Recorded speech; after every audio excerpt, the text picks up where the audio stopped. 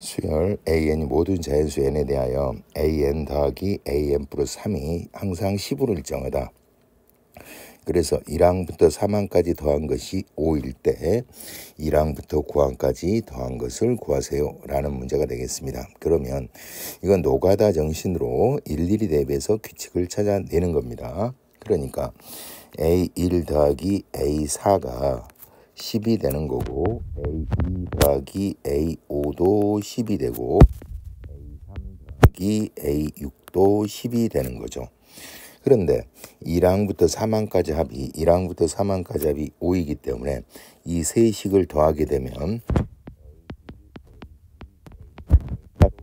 묶어주시고 A4, A5, A6도 따로 묶어주시면 이거의 합이 30이 되는 거죠. 근데 이거의 합이 5라 그랬기 때문에 4항부터 6항까지 합은 25가 나오, 나오겠네요.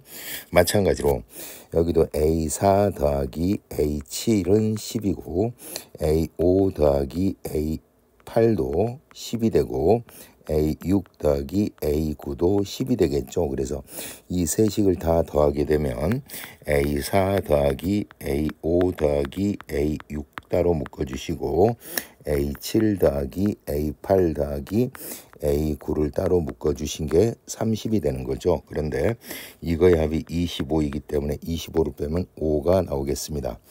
그래서 1항부터 9항까지 합이기 때문에 묶음이 세 묶음이 이렇게 나오는 거죠.